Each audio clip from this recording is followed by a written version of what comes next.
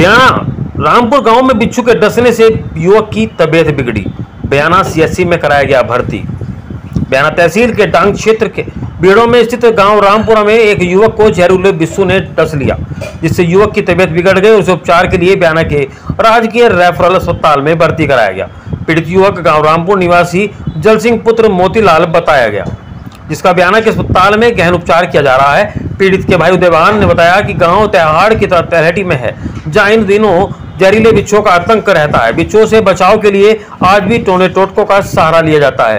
पीड़ित के उपचार के लिए भी तांत्रिकों का सहारा लिया जाता है। आज इसकी तबीयत बिगड़ने पर उपचार के लिए अस्पताल में भर्ती कराया गया। Bureau report. मेरा भाई जब सिंह गाँव रामपुरा में रहते हैं। बाइक के सहारे खड़ा था उस पर से बिच्छू ने काट दिया। इसलिए हॉस्पिटल में भर्ती है। मेरा नाम जल सिंह गाँव रामपुरा। मेरी मोटरसाइकिल की अंडर बीच में आ गया।